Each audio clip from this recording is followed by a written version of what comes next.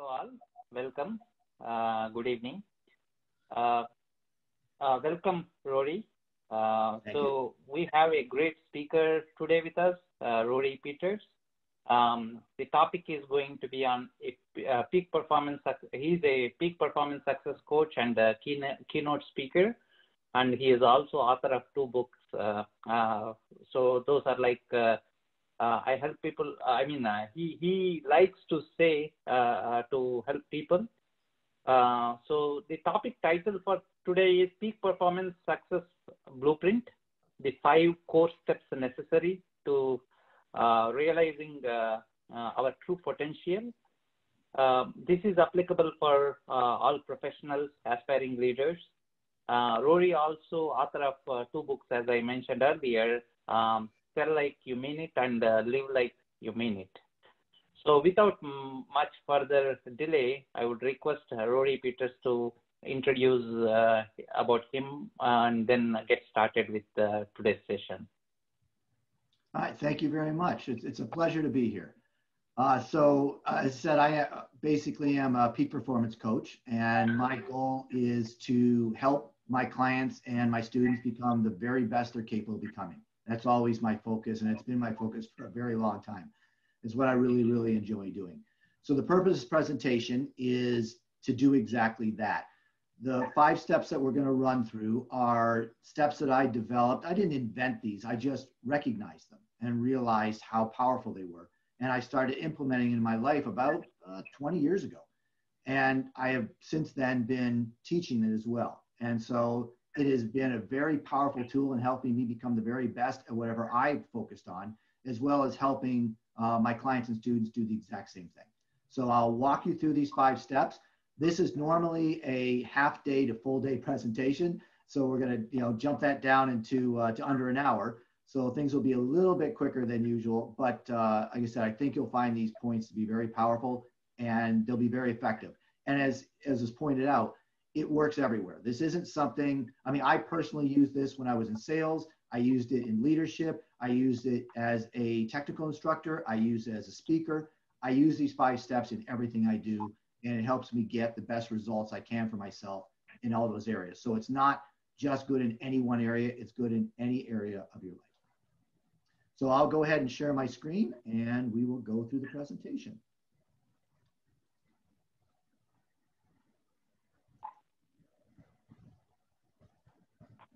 There we go. All right, so somebody do me a favor and let me know that they can actually see my screen. Yeah, we can see it. All right, cool. All right, just one sec. All right, here we go. All right, so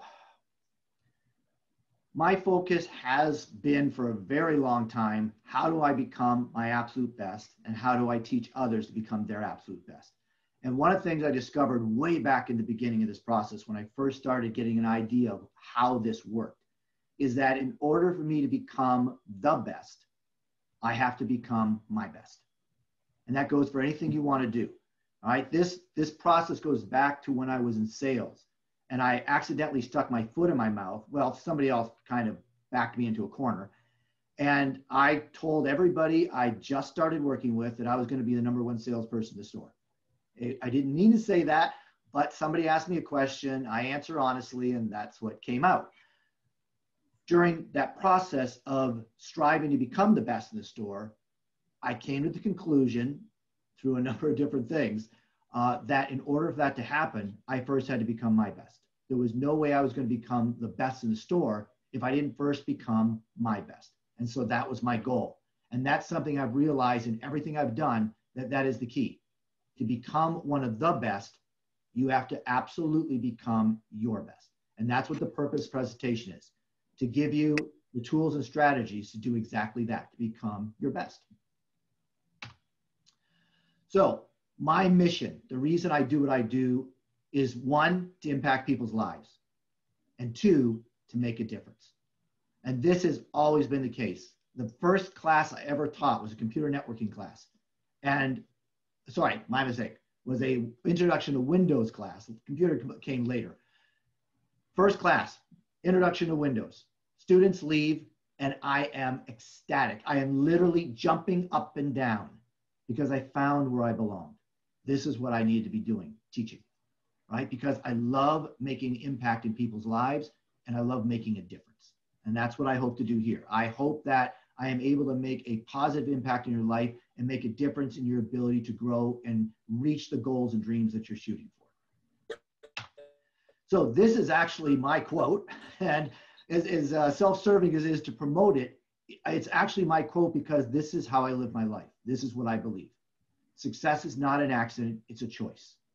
I didn't accidentally become the top salesperson everywhere I worked. I didn't accidentally take the computer division of a Fortune 100 company here in Los Angeles from the sewer to being one of the top divisions in the nation. I didn't accidentally become technical instructor of the year three years in a row. None of that happened accidentally. It all happened because that's what I chose to do. You can win the lottery accidentally. You still have to buy a ticket, but you pretty much win accidentally. That's about the only really amazing thing that can happen to you accidentally. Everything will happen because you choose to make it happen. Success is not an accident, it's a choice. All right, so we're going to take a look at the five core steps. I'll introduce them to you and then we'll, we'll take a look at each one individually. All right, so the first one is attitude, then taking responsibility, goals, the three pillars, and perseverance.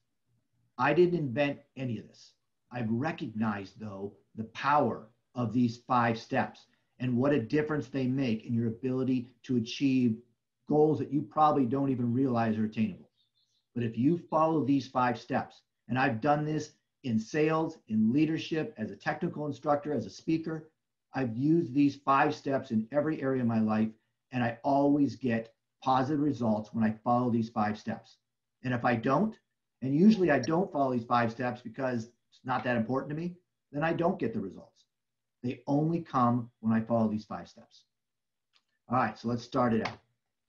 This is, in my opinion, the most important. Okay, attitude by far the most important. All right, there's two components to this. All right, two components to make this happen. But what you have to understand is attitude is going to dictate everything that happens. It'll dictate how hard you're willing to work or not work, how long you're willing to work before you quit, before you give up. It dictates everything. With the right attitude, there's very little you can't achieve. With the wrong attitude, there's very little you can achieve. Your attitude is the beginning, the middle, the end. It is everything. And there are two main components to your attitude. Number one, you have to know exactly what you want. You have to have vision right? You need to know what is it that I want to accomplish. Now, it doesn't have to be just one thing in your life. You could have a career goal, you could have a financial goal, you could have a relationships goal, you could have an educational goal. But whatever it is that you want to achieve, you've got to be able to see it. You've got to be able to see it in your mind to know exactly what you want. I spent the first 10 years of my career being pretty good at something, but yet never becoming great at it. I was good, just never great because it wasn't what I wanted. It wasn't the vision I held for myself. Remember that first class I told you about? The moment I taught that class, when those students, students left and I was jumping up and down, realizing I found it. I found why I was here. I had the vision. I knew what I wanted now. I wanted to be an exceptional instructor. All right? That's what I wanted to do. And so now I knew what I wanted. The second component to attitude is you have to decide that you want to become your absolute best, just like we talked about in that first slide, right? You can't decide, I want to be okay at this or I want to be good at this. You have to decide you want to become your absolute best. Now remember, what we're talking about here, what I'm what I'm going to be talking about today is not how to be good at something. It's how to be amazing at something. How to achieve goals that right now you might not believe are possible, but they are.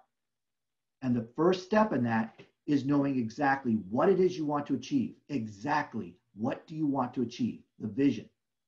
And then deciding that you are going to become your absolute best. Not good, not great, your absolute best. That's the only way it's going to happen. So if you're willing to do those two things, if you're willing to focus on and see the vision for what you want, and decide that you are going to do what it takes to become your absolute best, it sets the road for everything else we're going to talk about. Those other four steps will happen because you set the first step, because you set your, excuse me, you set your attitude.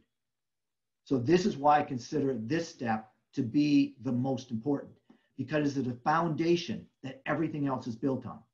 Think of it like building a house, right? If you build a really strong foundation, then it can support the house you want to build. But if you build your house on a really weak foundation, it's just eventually going to crumble down. Okay? The foundation is everything. And that's what attitude is it is the foundation for everything else that you're going to do. Second step. All right. Sorry, I forgot. I want to introduce to you. This is a quote that I came across probably about five years ago. And it is my all time favorite quote. This to me is, again, this is the thing that's up on my mirror. All right. There is no passion to be found in playing small and settling for a life that is less than the one you are capable of living.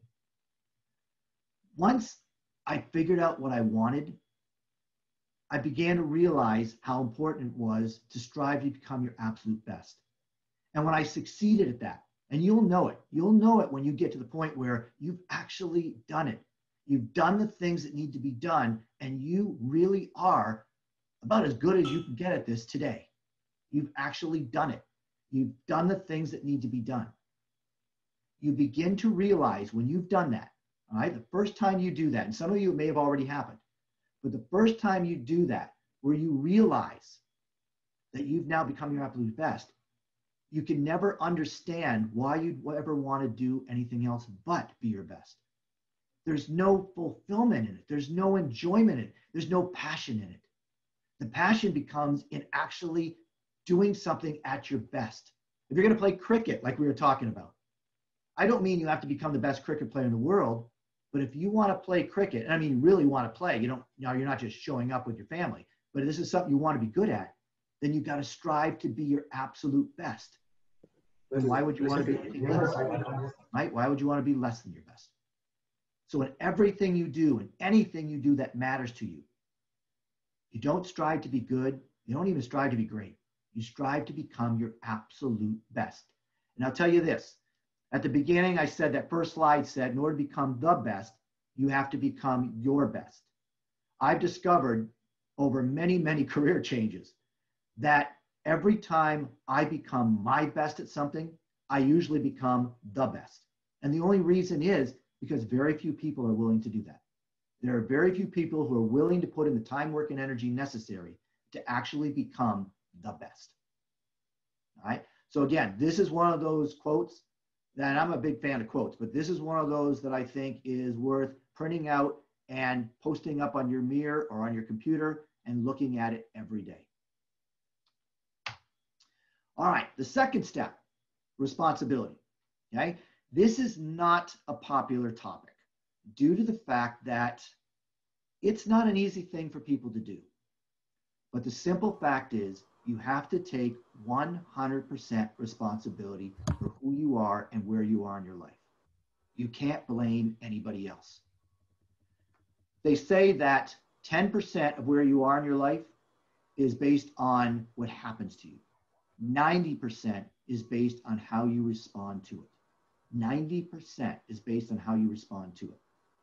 So if a negative thing happens to you, and the first thing you do is blame others, blame the government, blame the economy, blame the weather, blame the dog down the street, anybody and everybody but yourself, you can't learn from that event.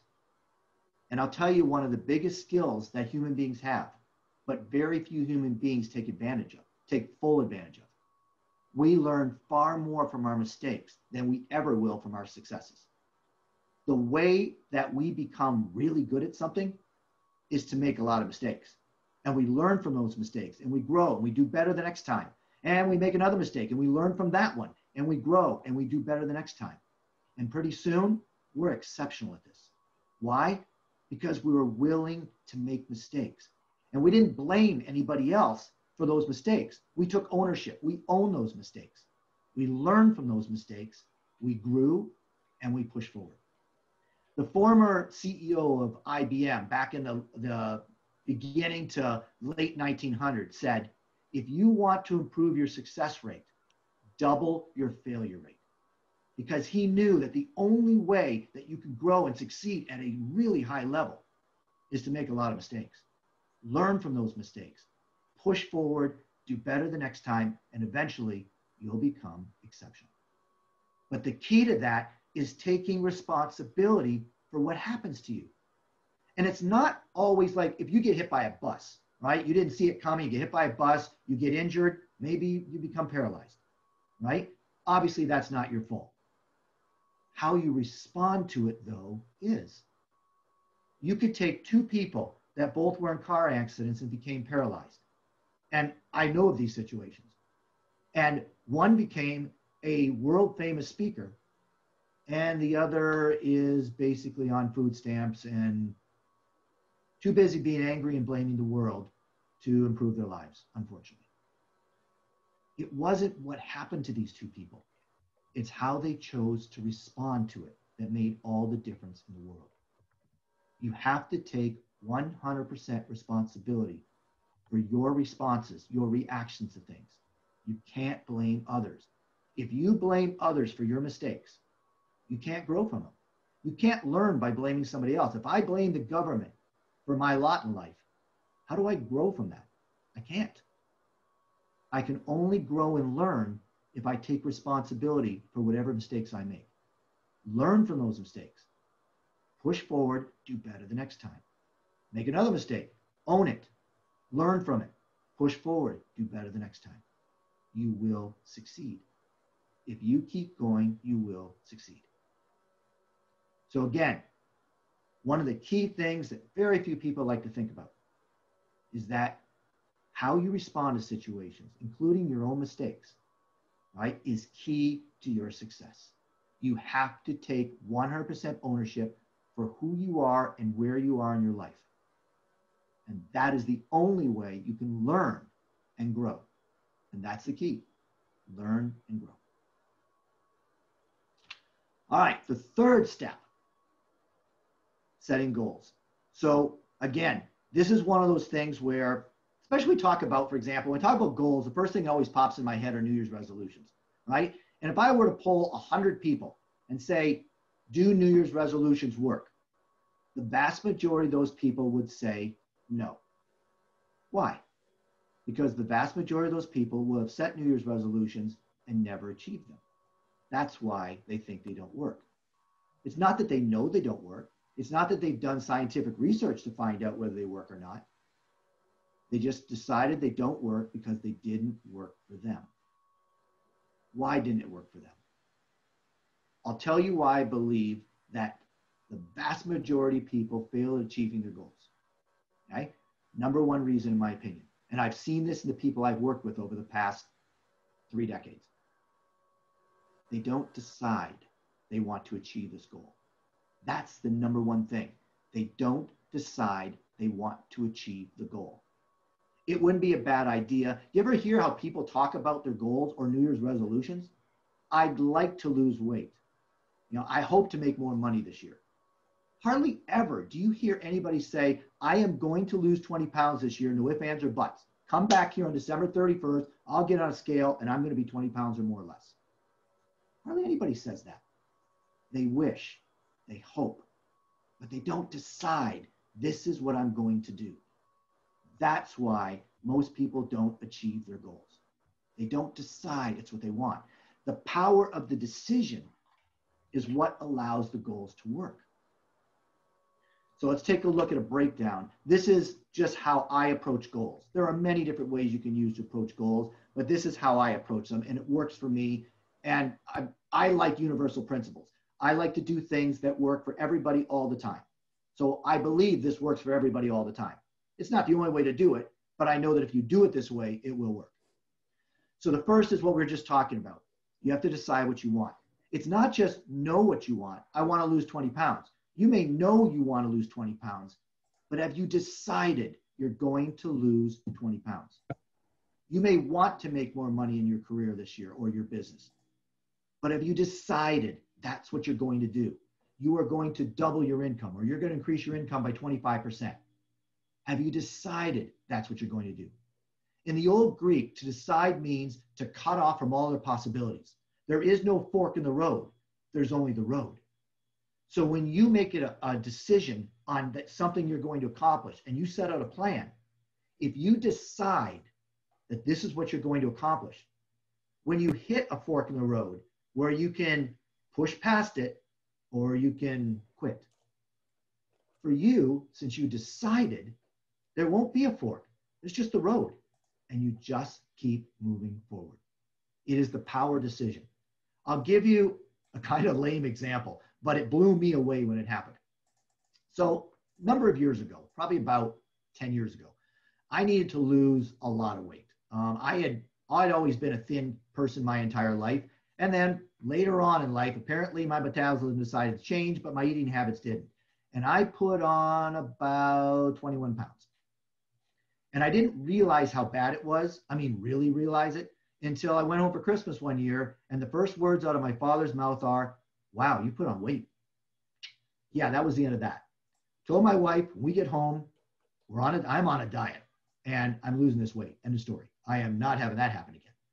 So we got home and I decided that is it. And the first step I decided I was going to do was that in the month of January, because this is like Christmas, right? So starting January 2nd, gave myself New Year's Day, starting January 2nd, I don't get any sweets the month of January. Nothing. And I love sweets. Nothing. Not a cookie, not a piece of candy, nothing the entire month of January.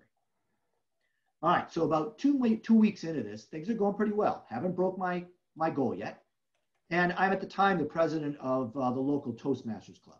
And so we're at the meeting, and my wife usually brings snacks for the group. But I warned everybody in advance that I'm on a diet, therefore you don't get snacks. So she didn't bring anything. So a couple of the other people decided they would. They never brought anything. And now they're bringing, one of them brought this box of chocolates. Oh my God, they look so good. And this other guy, he brings an upside down pineapple cake. I'm looking at this stuff going, oh my God, it looks so good. Maybe I could just, like for a split second, and I'm this is exactly how it went down. For a split second, I thought to myself, maybe I could just, and as before I could finish that in my head, I went, no, you decided, no sweets in January. Done.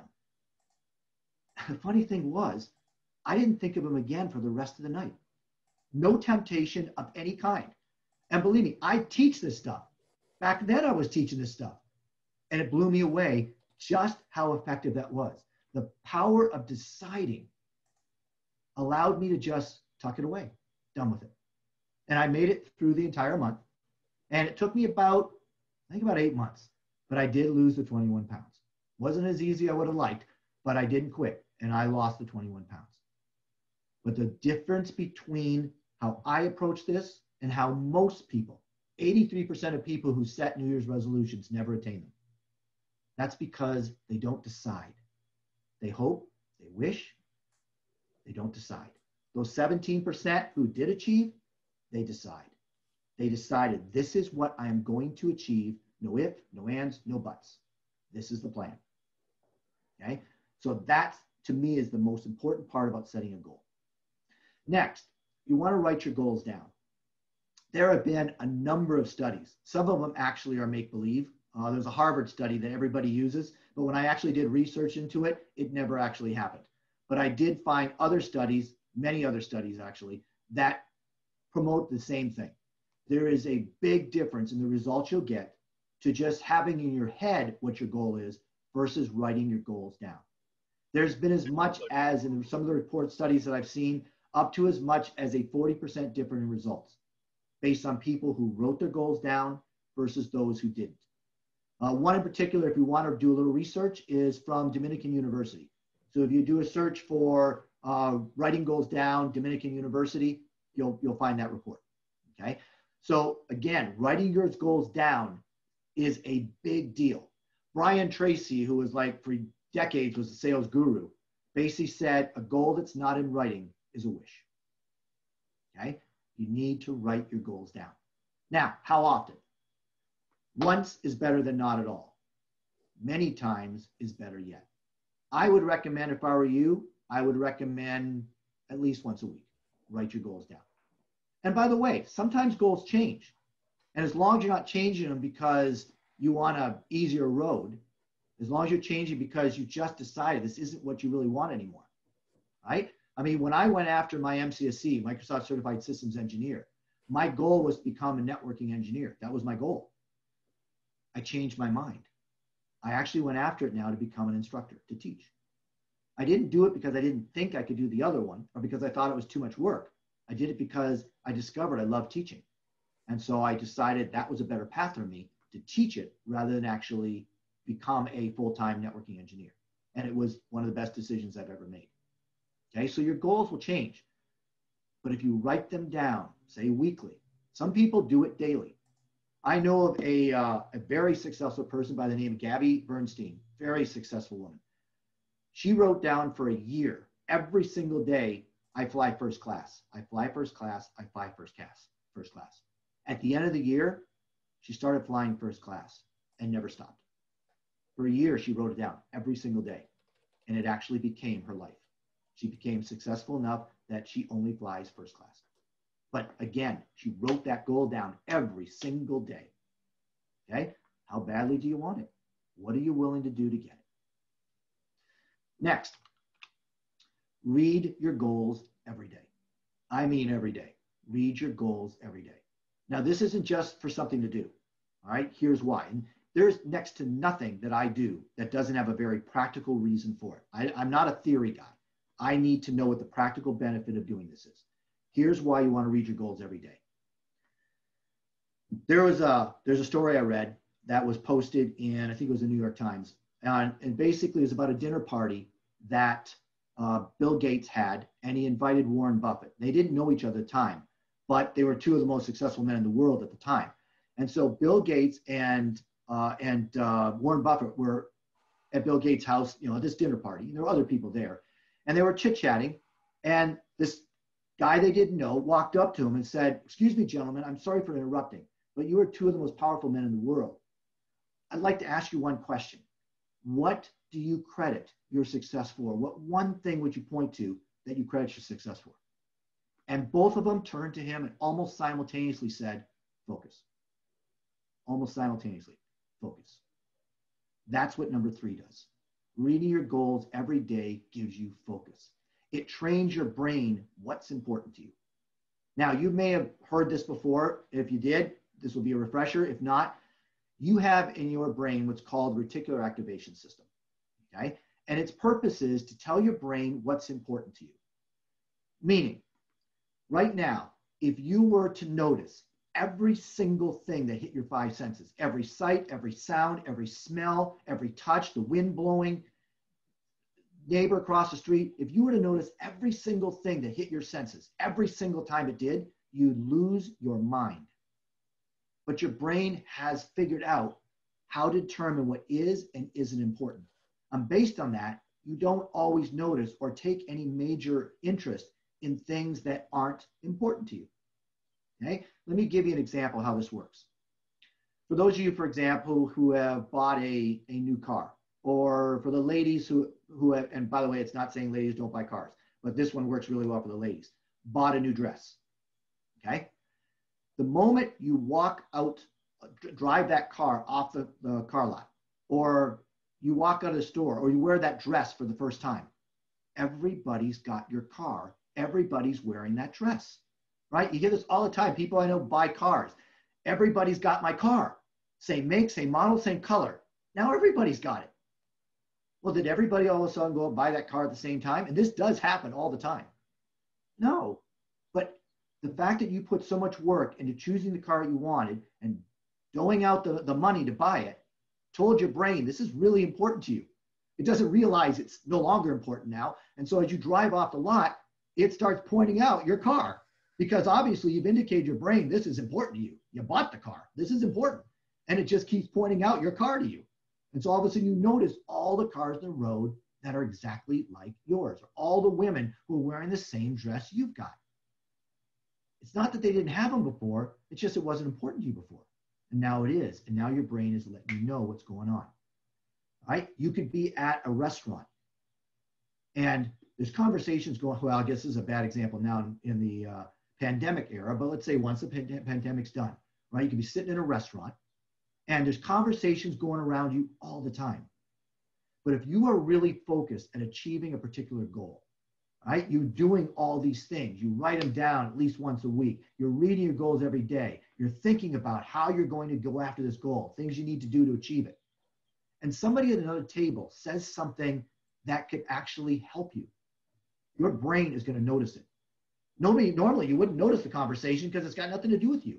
But because it has something to do with the goal you're trying to achieve, you will notice that conversation. And then maybe you get up and you walk over them and you just introduce yourself and say, Hey, I'm trying to achieve this. And what you're talking about here, this is really cool. And you ask a question or whatever, and maybe they've got something that can help you.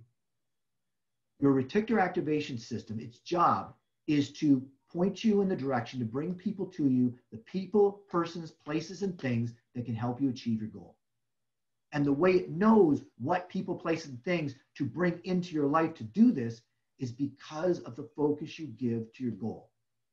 So if you don't focus on your goal, you're not writing your goals down, you're not reading your goals every day, you're not focusing on them. Okay? Therefore, you're not training your mind what's important to you. And it doesn't know to help you with this goal because you haven't taught it that it's important. This is where reading your goal every day comes into play. That's why it's important. There's a very practical reason for it. And the last, take some kind of action every day towards your goal. Okay? Every day. Not necessarily a big thing. Doesn't have to be a big thing. It's a little thing. Any little thing will be fine. This isn't really about the action. It's about momentum. Right? It's about building momentum. So if you do a little thing every day towards your goal, it's like starting up uh, one of those big, huge locomotive trains, right? Coming from, from standing still, trying to get this thing moving is almost impossible. And it's just really, really slowly. But as it starts building up steam and gets faster and faster and faster, it's almost impossible to stop. And that's the idea of taking action every day. The individual actions themselves are not as important as the continual momentum that is caused by taking action every day. It becomes who you are. And these actions will become bigger. And it's not because you will want, it's not because the motion itself makes it bigger, it's because you're going to decide to make them bigger. When, remember, we had that quote, right, that said, there's no passion to be found in playing small. When you start to develop the, the habit of taking action every day, eventually taking little actions isn't really going to satisfy you because you've gotten too good at it. And now you're going to want to take bigger actions. You're going to take yourself to a place where you're taking bigger actions. When I was losing that weight, right? I hated exercise. Loved playing sports, basketball, football, racquetball, right? Hated exercise. Well, when I was putting on the weight, one of the problems was that I wasn't able to play sports anymore because I had moved and my job situation didn't allow for me to play sports. And I didn't exercise, so hence I was putting on weight. So when I decided to lose the weight, I had to decide I needed to exercise. And again, I hated exercise.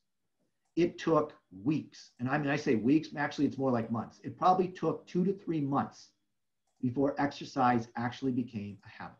Two or three months of trying. And I wasn't doing it every day. I was really screwing up, but I just kept going. And that momentum of trying to do something every day kept me moving. And eventually, exercising 30 minutes a day, three times a week, became a habit. It was actually easier for me to exercise than the guilt I would feel if I even thought about not exercising. So I found it much easier now to exercise three days a week at 30 minutes. Well, eventually, in my mind, I'm going, okay, this is way too easy. Next thing I know, I've moved it to six days a week, 45 minutes a day. A guy who hated exercise. And this is, by the way, what I do to this day. I'm exercising now pretty much hour to an hour and 15 minutes a day, seven days a week. Okay? I wouldn't have bet in a million years that would ever have happened. But the momentum that came from taking action every day, just like that train building speed, it just got to the point where this was too easy. All right, I needed to do something bigger. And I would just do it to myself, just made it bigger and bigger and bigger until I was getting the results that I wanted. Now I don't increase it anymore. I got the results I wanted. This is now how I maintain the results, and it works beautifully for me. Okay? So you got to decide exactly what you want and decide. Don't wish, don't hope, decide. I recommend you write your goals down at least once a week, possibly more, but at least once a week. And your goals might change. Read your goals every day. Okay. And the idea is so that you train your mind what's important to you. So it alerts you the people, places, and things that will be able to help you, the resources that will help you attain your goal.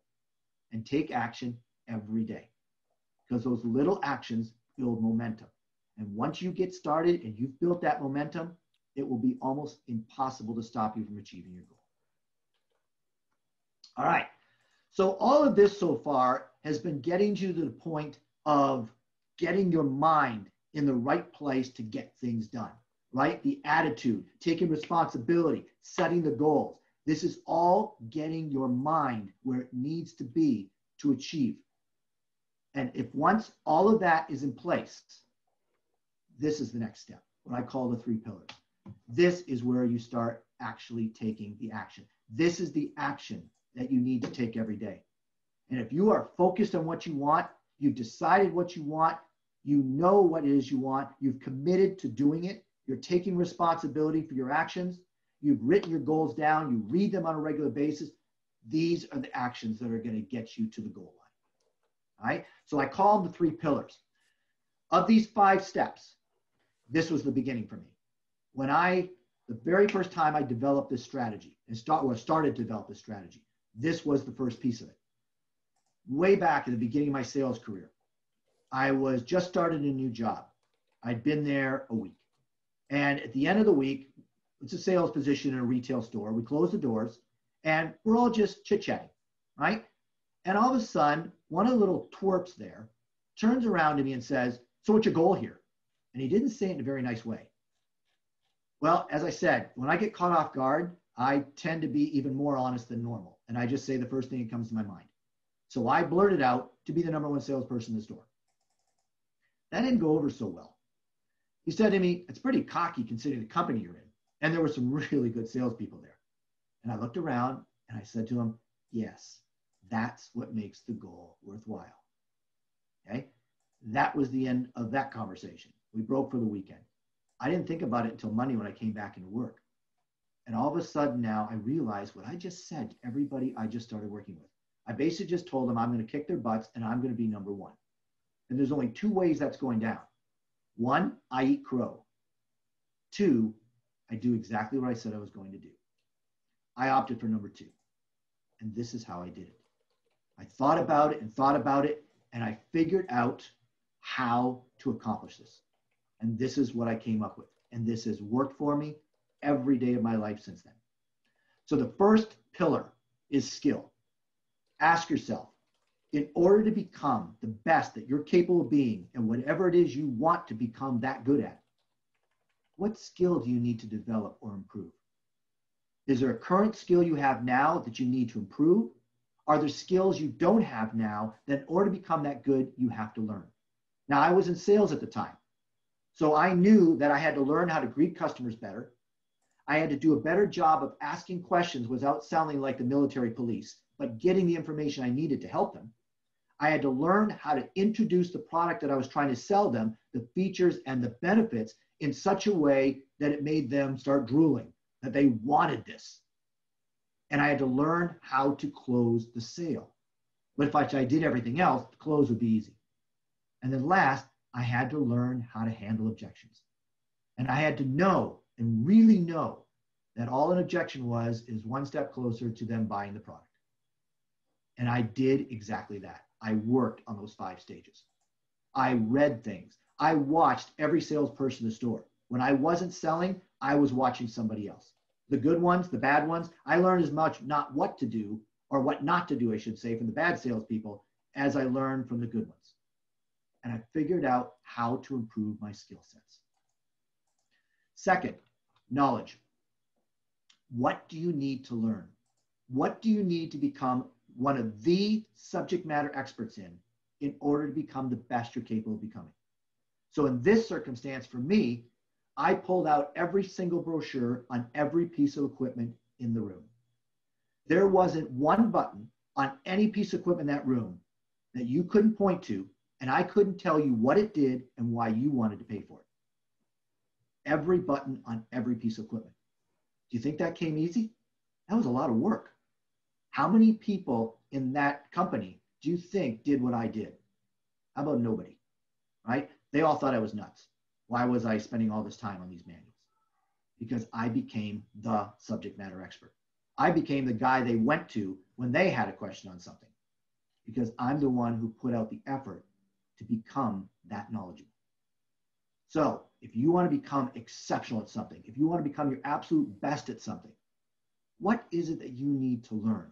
What do you need to become one of the subject matter experts in? And last, and this is by far not the, uh, not the least important. This is probably the most important. Always offer more value than you expect to receive. Salespeople have a horrible reputation. And I'll be honest with you, it's mostly deserved. Okay.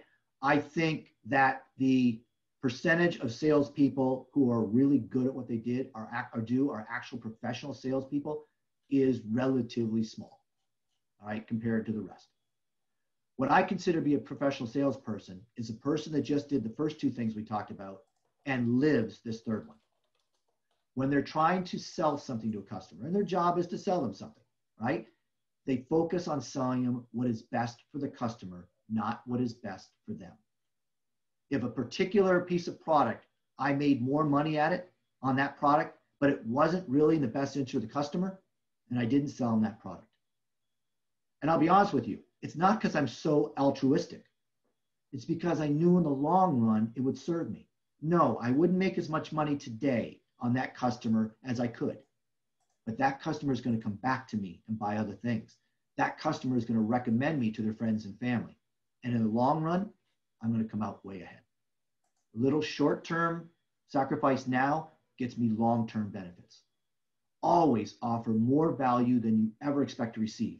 And I promise you, in the long run, you will receive more value than you ever thought you would. It is never a losing proposition. It may appear to be at the moment, but it never is. In the long term, it will always serve you exceptionally well. And you just become a good person. You become the kind of people that other people want to do business with. And again, you will succeed. So these are the three pillars this is what allowed me to become a number one salesperson next door within about 45 days. Okay, the other 45 days, I was number one, and pretty much it never changed because this wasn't a one time thing, right? This was an all time thing. I'm always the guy who knows the product. New product comes in, I'm the guy who grabs the manual and starts going through it and figuring this product out and figuring out how this works, where it play, falls in play with the rest of the line. How am I going to sell this product? Do I even want to sell this product? Right? I'm the one who did that. I'm the one who was constantly watching other people to see how they did things, pick up pieces. I learned things from a salesperson who started one day, never sold anything, his first day. And the way he said something blew me away. I could not believe how good a job he did describing something. And this was his first day, never sold anything before. And I told him how amazing it was and that I was stealing it. Okay. I mean, a great salesperson, they are a compilation of everybody they've ever worked for. Okay. And at the time, that's what I was a compilation of everybody I worked for. All right. These three pieces here are the, the things you actually do to achieve the goal.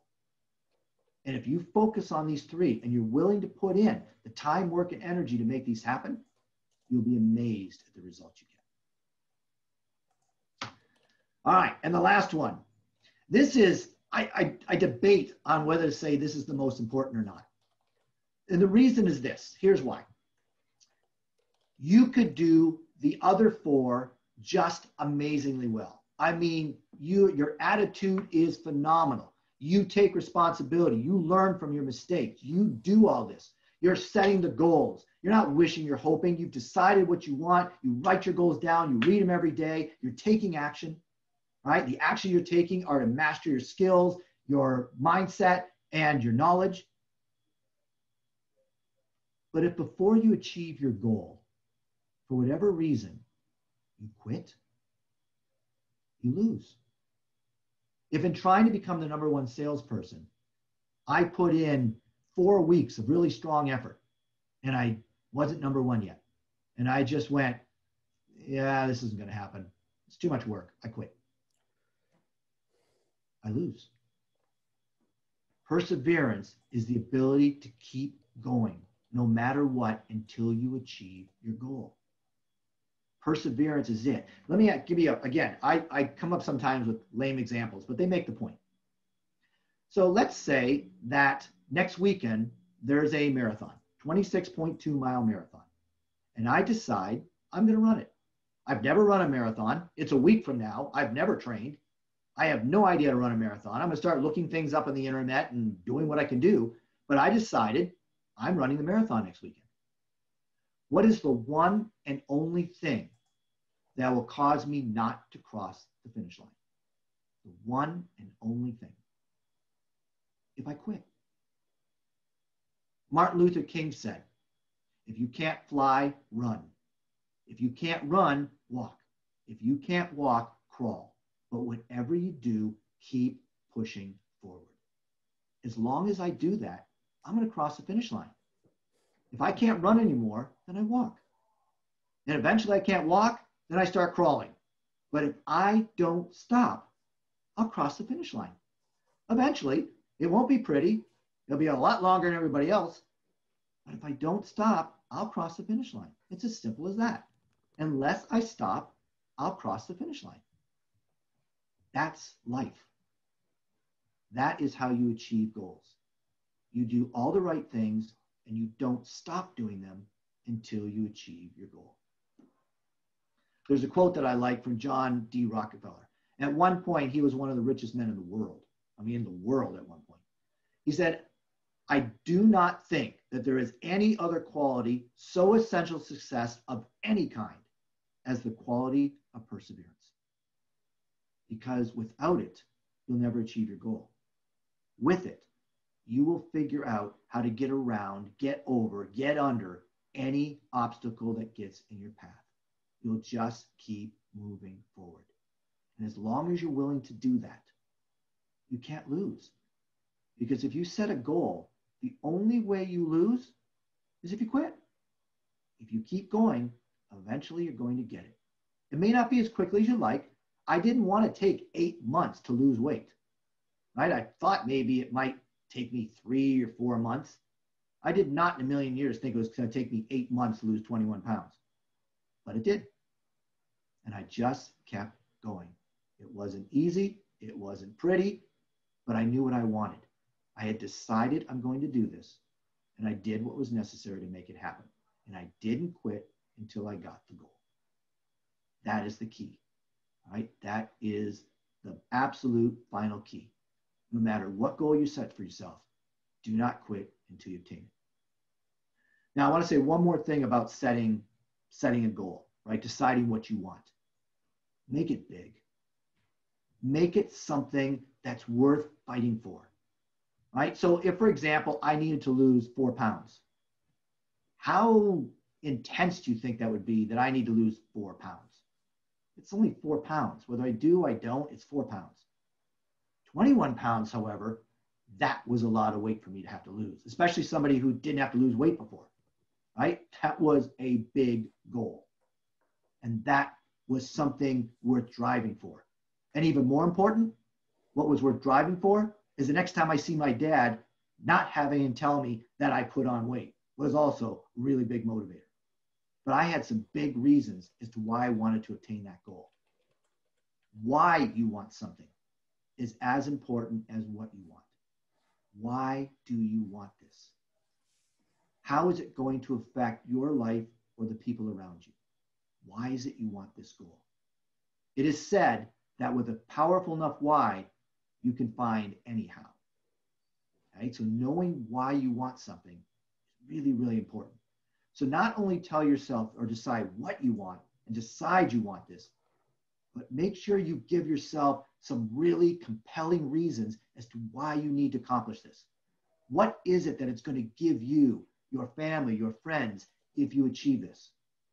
And what won't you have if you don't achieve it? Okay? Your why is a big, big tool in helping you get past the roadblocks and to continue to persevere. Right? If you've got a powerful why, you're going to go over, around, under, whatever you have to do those roadblocks to achieve that goal. So those are what I call the five core steps. Attitude, responsibility, goals, the three pillars, and perseverance. If you master those five steps, I promise you, there is very little you can't accomplish. I mean, very little. I've accomplished some things that I really didn't think I could accomplish. But I put those five steps in play, did my best to have faith, and I didn't quit. And eventually, I got them. Right? I told you I went after my MCSE. The failure rate was 80%.